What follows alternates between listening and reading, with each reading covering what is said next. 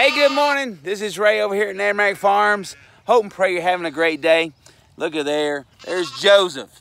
Joseph is who I want to talk to you about today. Uh, as I was doing a video the other day, you noticed those lambs were jumping up in my face. If you haven't seen it, go back and check it out. Joseph was one of these lambs that was just all over me. There are these bottle-fed lambs, but Joseph has something in particular right now. Joseph has a mess. Look right there. You see that mess all over him? Well, two days ago, it was fresh and it stunk. It still smells. But yet, Joseph comes up and he gets right in my face. And I didn't mind. Yesterday, as we were walking in the field, my wife, Katie, was with me. Joseph comes running up and he jumps and he leaps on her. And guess what? The mess got all over her. She didn't mind.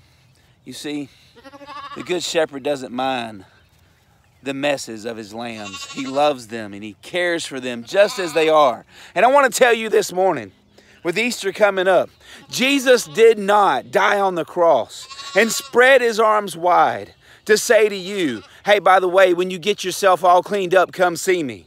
That is not what he said. Jesus Christ hung on the cross, spread his arms wide, and said, Come to me with all your messes. Come to me, and I will hold you.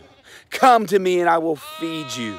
Come to me and I will tend to you. I will care for you. I will mend you just like you are. Come to me.